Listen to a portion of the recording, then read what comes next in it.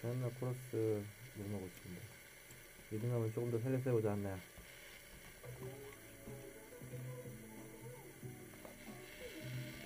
그죠?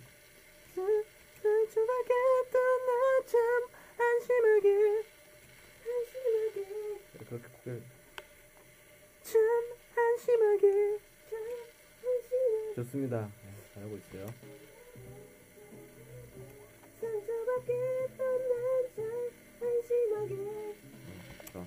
좀 더 흔들어 봐. 참 안심하게. 그러면 노래를 못해. 괜찮아, 괜찮아. 왜 힘들어? 튼해줄게. 이렇게 흔들면서 해봐.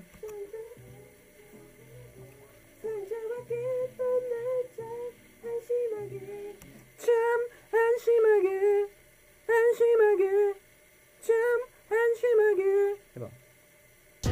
안심하게 어떤 의미조차 되지 못했어